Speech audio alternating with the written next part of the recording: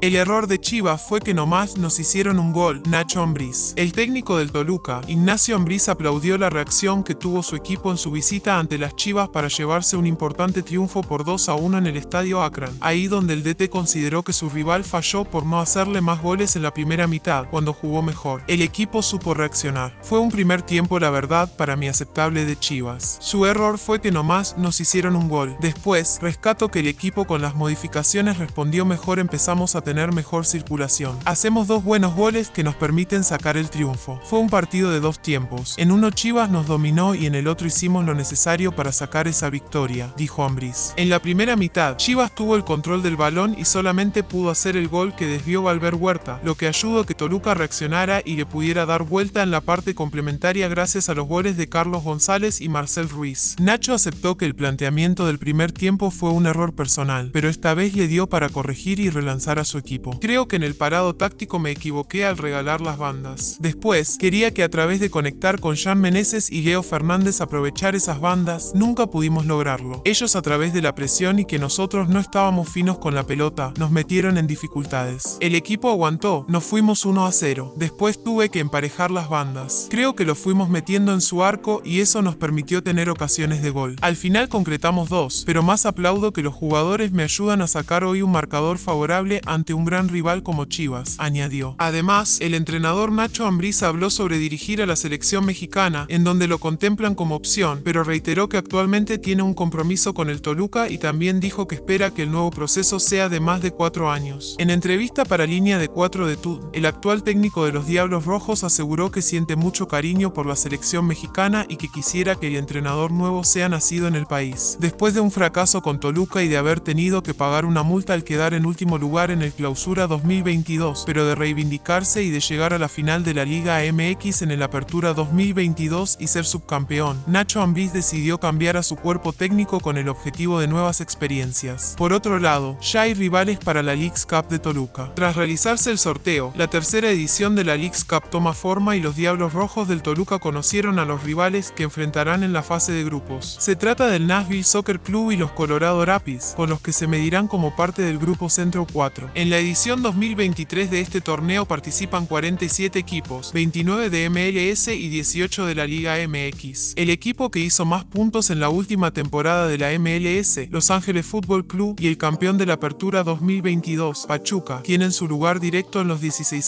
de final. En tanto, los 45 equipos restantes se dividen en 15 equipos de 3 equipos. Los partidos se jugarán en Estados Unidos y Canadá del 21 de julio al 19 de agosto. El torneo clasificará a tres clubes a la CONCACAF Champions League de 2024, una oportunidad que los Diablos quieren aprovechar buscando su proyección a nivel internacional y representar dignamente al fútbol mexicano desde el primer momento. Será también una prueba importante para los Diablos en lo deportivo, pues se medirá a rivales de la MLS, que ha reportado un crecimiento importante en los últimos años. En cuanto al formato de competencia, la fase de grupos se juega todos contra todos y el líder del grupo avanza a 16 avos. Clasificarán el ganador y segundo de los 15 grupos para tener 32 equipos en las rondas de eliminación directa.